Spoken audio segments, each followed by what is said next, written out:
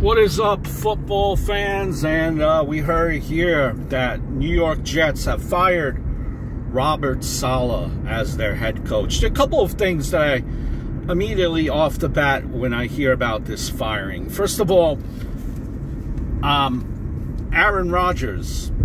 Clearly, that relationship, I think, with Aaron, uh, with Robert Saleh has fallen by the wayside, has fallen apart. You know, you could go back to uh, when uh, you know Robert Saleh mentioned that Aaron Rodgers went to Egypt when you know players were supposedly being camp, and you know that's where he went on a trip to Egypt. Um, you know, just various press conferences. You could tell that relationship has soured, right? So you do a move mid-season, fire a coach, which is a desperation move and, you know, the Jets, listen, they're all in. They have already um, are in a win now mode. So they're going to do everything necessary to try to win. But look, let's think about this here really honestly and thoroughly. I look at a coach and Robert Saleh, who basically what it seemed like to be to me is a great guy, but a glorified cheerleader uh, slash defensive coordinator with the title of a head coach. Says, you know, you have a guy like Hackett, Aaron Rodgers' boy. Okay, this is what you guys do. You do the offense. All right, Hackett, Rodgers, that's what you want. I mean, you're you're my coach, Aaron Rodgers. Uh, anyway, I'm just Rob Saleh. Rob Saleh takes care of the defense. Now, the defense, you could argue, is one of the best in the league. Now, may I add, Sauce Gardner, um, guys like this on the defense have, they really kind of like, seems like they have stayed stationary in the last couple of years. Nonetheless, the defense is ranked one of the best in the NFL. However, the offense, not so much. And they averaged or scored just as many points with Zach Wilson in the first couple games in the season. Now, mind you, remember, Aaron Rodgers coming off of surgery.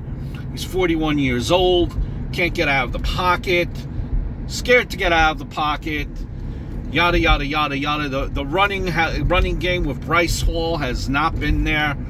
So, it's all fine and dandy when you let one uh, uh, when you let Nathan Hackett pretty much worry about the offense and you have no say in it, or you don't input your say in it as the head coach. If the offense fails, first head that's going to roll is the head coach. But look, the defense is good. Eh, you should have been in charge of the offense now. And that's what happens. They're not going to touch dare I make the argument that you should fire Hackett as the offense coordinator. But we well know that that's not going to happen because Hackett and Aaron Rodgers, they're boys. And again, they're not going to ruffle the, the feathers of the head coach and Aaron Rodgers. Hey, look, it's the price you pay, right? Super Bowl quarterback, MVP quarterback, but he's 41 years old coming off of an injury. But you're in all in and you're desperate mode. You don't want to ruffle your star quarterback's feathers because you know what? After this year, he could be saying, he could say, deuces, I'm out. Even though he, I think he promised this team three years. Very peculiar, very, very interesting situation in New York with the Jets. Rob Saleh seemed like every just seemed like a great guy. I remember him with that fire and that uh, like steam coming out of the ears when he was with the 49ers as a defensive coach. Sure, he'll find job elsewhere.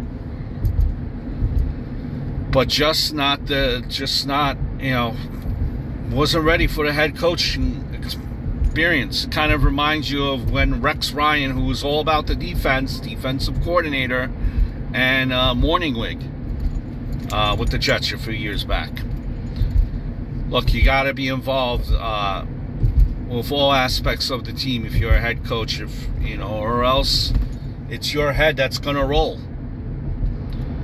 I hope all is well.